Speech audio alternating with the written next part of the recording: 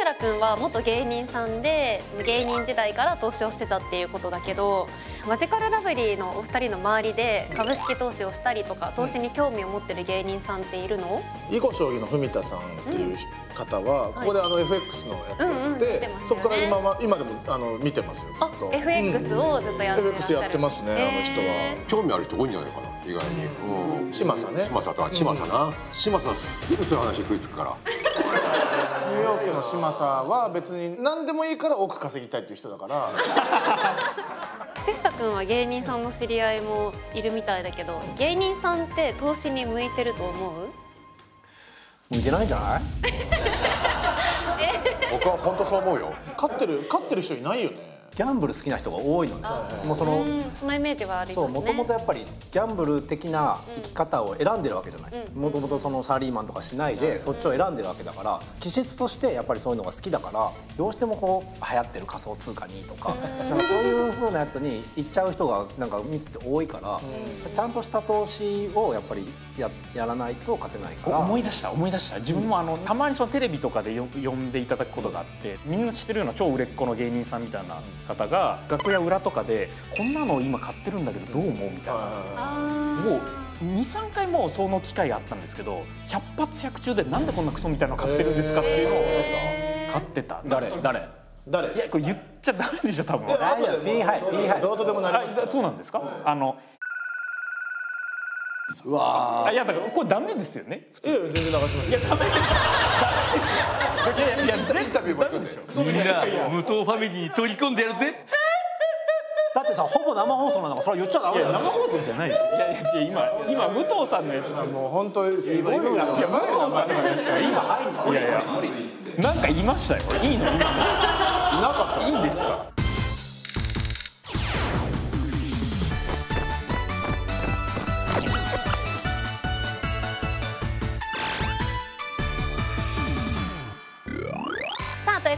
回は後藤先生にも座談会に参加していただきます、はいどうも。ありがとうございます。これが一番楽しいから。で早速なんですけど、最近の経済ゴシップ教えてください。経済ゴシップとか？あるのゴシップは知らない、あいつややばいやつとか教えてください。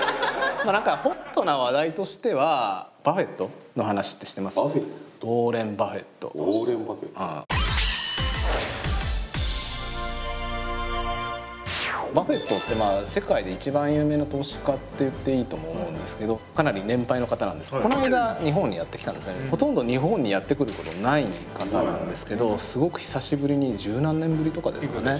うん。来てでまああの商社の株をえーまあ結構こう積極的に投資してきてるっていう人でその人がまあ日本に来たっていうことでまあ最近ちょっと日本株が上昇してる感じありますけどその一因っていう解説もありありますよね。まあでも本当にないない話じゃないなと思いますけど、まあ実際その商社株については、あのバフェットさんが来るってだけで商社の株上がったりとか、買い増しますみたいなこと言ってるだけで株上がったりするんで、どんぐらい稼いでる人なんですか？テスタ君何人分？何テスタ まあまあ2テスタぐらい。2テスタもっとあるわ。すごいなテスタ10兆とか超えてると思いますね。10兆？世界のあの資産ランキングでいうと大体5位前後ぐらいに入ってる多いんですよね。90歳までに抜かせば勝ちだ。そういうことです。そうかそうかそういうことです。ねバフェットさんも多分このテストさんの年齢ぐらいの時同じぐらいだったような。じゃあもう何十兆いくの？テスト君。じゃあ1テスタだ。1テスタ1テスタすごいな。テスタさんってまだお金増やしたいんですか？なんか何十何十億とかなったら。目標とか知りたいですよね。いくらもういくら欲しいんですか？100は意識してるみたいな。100億。意識してないよ別に。聞いた聞いたことあります？いしてないと思うけどな。いけるかな？100億をどうするつもりなんですか？そんなことないいや100億いったらこういう運用しようとか300億いったらしようとか1000億いったらしようみたいなのはおぼろげにはある。こうした方がいいなっていう。成績だね。別にお金がどうこうじゃなくて使うからどうこうじゃなくて成績としてこうやったらこれぐらいいけるんじゃないかっていうのはあるやり始めた頃からさもうだって資産がその倍倍近くなってるわけでしょ？この動画をやり始めてから。やっぱりそのもうココイチとかもういいいいの？食わ食わない？さすがにもう食わないかココイチ。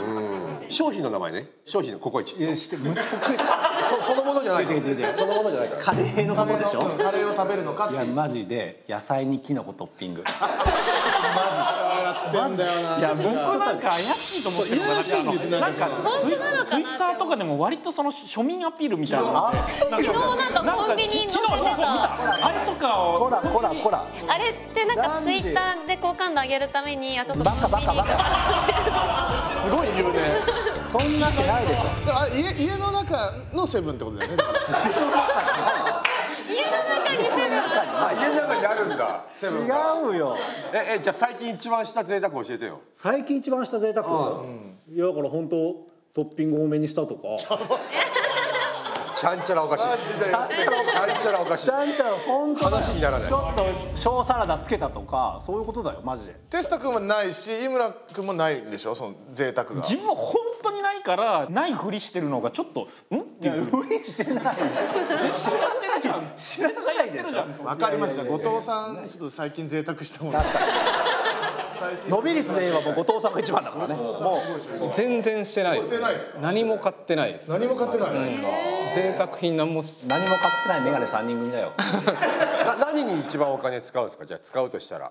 あ僕は家賃ですあそうか家賃と公開してるんでしたっけ？家賃いくらか。公開してましたっけ？かあの大々的にしてます、はい、改めて教えてください。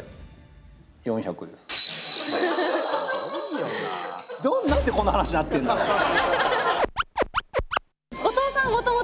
新聞の記者さんでしたよね、日経新聞の記者時代ってどんなこと取材されてたんでしたっけ、うん金融市場とか株の話とか為替の話とか、まあ、最後は日銀とかですね。その辺が割と長いかなっていうところですよね、日銀の人から見てもおうおうみたいな感じになるといやそそんなに偉くないです。あそんなに偉くない。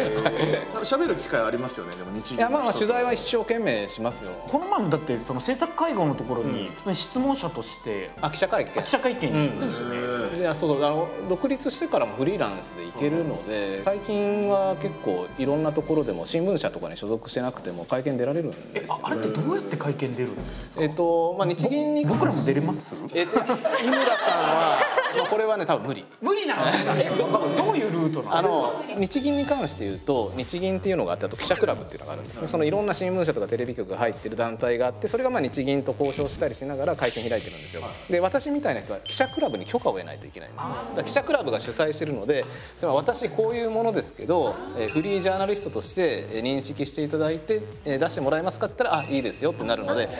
これがそのこれまでどっかにも所属もしていなくてブログだけ書いてますっていうんだと多分記者クラブに「いやそれはちょっと王道じゃないですね」ってなんで井村君行きたかったの？いやだって行けるんだったら行き行きたい。いやいやいや。アクティビストだね。まだ引きずってんの？物言うティブなだね。その記者会見も物言うのかな。聞きたいじゃないですか。お話聞いてみたいですよ、そもそも日銀ってぼどうやって入るんですかね？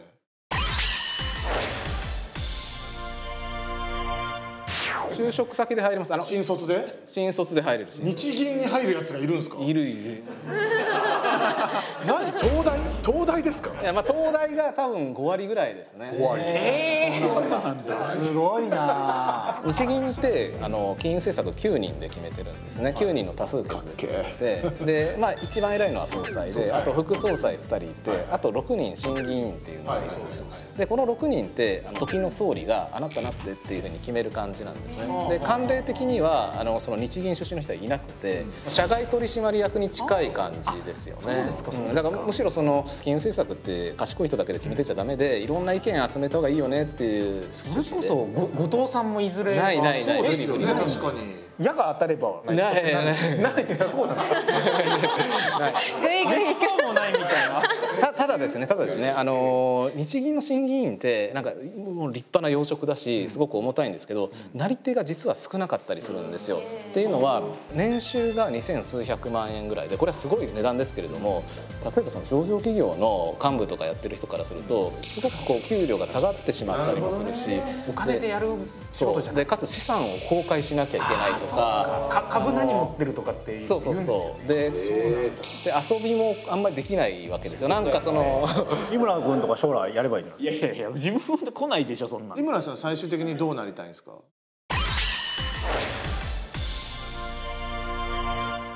自分はだから今あのい一番注力したのがその運用会社を作ってっていうところ。運用会社を作る。ファンド。まあファンドっていうのを作って、まあ、人様のお金を預かってそれを運用していくっていうのがまあビジョン。だいぶ準備進んでるんですか？今進んでいて一応形として見えてきたかなっていうのはあいやでもね僕はね本当ね井村君はねすごいのよ。もう本当に 勝ってるトレーダーいっぱいいるしあの勝てる人はいるいるいるんだけどたくさん僕より上手い人も全然いるんだけど前に出て喋れる人っていうのは本当に少なくてでこれだけしかも詳しく喋ってくれて経済のこととかももちろん後藤さんもそうだけど勝ってちゃんと投資しながら言う人ってやっぱ説得力がすごい高いじゃない、そういう人って本当にいないし僕は井村君はもう本当宝だと思ってるやめなさいよ。だから本当テレビとかで投資のこと詳しく説明池上彰さんみたいな立ち位置でなんか番組やってくれて株っていうのはすごい大切なものなんだよって。そこからまた人力車に戻って。舞台立って。バカバカ出てねいや懐かしいバカバク。新宿風ね。U ターンして本当だから僕はそっちでやってほしいなと思ってんだけど本人はやっぱそのファンドがあってあるからまあファンドしながらでも出れるけどね。自分はだから運用がし好きなだけで、啓蒙とか必要かなっていうのも若干思ってるぐらいになっちゃったんですよ。ちょっとね一応この動画は そのための動画なんでちょっと。どこで喋ってるか分かってんの今。武藤さんが今切れてるかもしれない後藤さん個人的に投資はしてないんですか？あ投資してますよ。あしてるんですか？はい、日経にいた時って、そのインサイダー情報とかに触れかねないので、いろいろ規制あるんですけど、まあ、今はもうフリーなので、あの結構してます。個別銘柄でです個か別銘柄もそうです、まあ、今は余裕資産のかなり多くはアメリカに置いてますね。アメリカ株とか。あの半年後1年後の為替どうなるか分かんないけどもあの5年10年のスパンで見ると割と円安になっちゃうリスクあるなと思っていてで、まあ、その時に備えてなるべくあのドルを中心にあの海外資産に置いとこうかなと思って円安に大きくなりますか？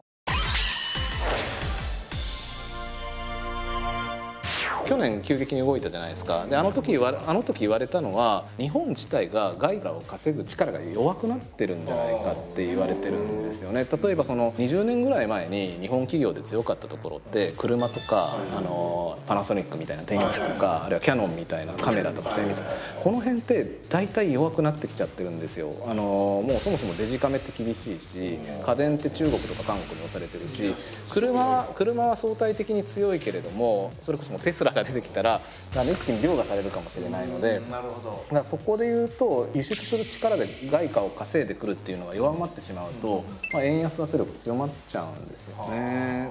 むずい今後日本の強みになるようなその職種とかってあるんですか？基本やっぱりそうコンテンツ系とか、まあ、さっき言ったアニメとかもそうだしあとはまあインバウンドですよね。もうその辺ぐらいしかなかなか見出しまあ、一応製造業とかでいうとは半導体周りとかの、そうですね。材料とかそう。ニッチなところは強いです。ああいうところ日本かなり強い産業なんで、で今その輸出できなかったとしても海外の現地に子会社作って、現地であの作って外貨を稼ぐっていう会社も増えてるから自分はそんなに悲観してなくってあと購買力陛下っていうあの難しいあれなんですけど物価差を意識するとあの為替の円のフェアバリューってどのくらいですかみたいな考え方があるんですよ。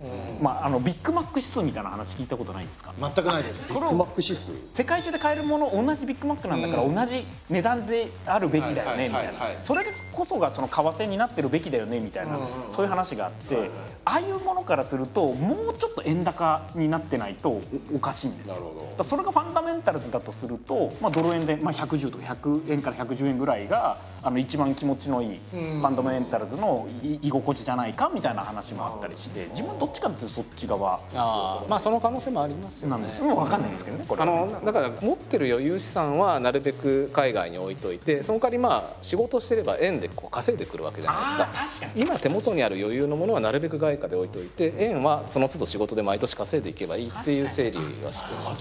手元の外貨かじゃあ最後にオンエアされるかわからないですけれどもとりあえず皆さんが今考えている狙い目銘柄ベスト50それぞれ上げていただきましょう。もう収録が終わってからやりなさい。勉強の後のこの座談会がいつも楽しみなんだよね。本当好きだよね。じゃあ僕はそろそろこれで失礼するよ。えもう帰っちゃうの？早くない？テッサ君楽しかったよ。え？じゃあみんなもまたね転校しちゃうってこと？早いな。えちょっと待ってそんなの急だし寂しいよ。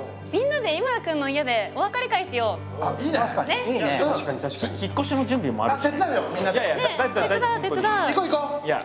ういらないものあったらもらうし。残ってるからまだ。うん。行こう行こう行こ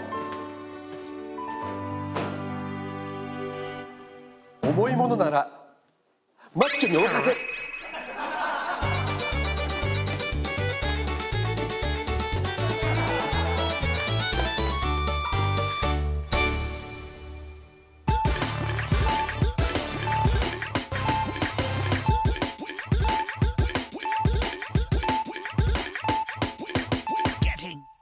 テスタスタジオとか作ったらいいのに番組スタジオみたいの。いやそしたらもそうね。うこれもただでみたいな。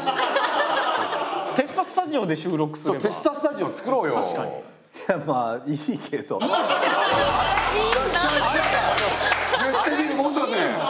言ってみるもんだぜ。うここはもう買っテスタジオ。買ってくれちゃえばもうそれでいいんだようビルごと買っちゃえばね。ここも買っちゃえばスタスタでスタスタ。テスタスタジオ。チャンネル登録。高評価よろしくお願いします。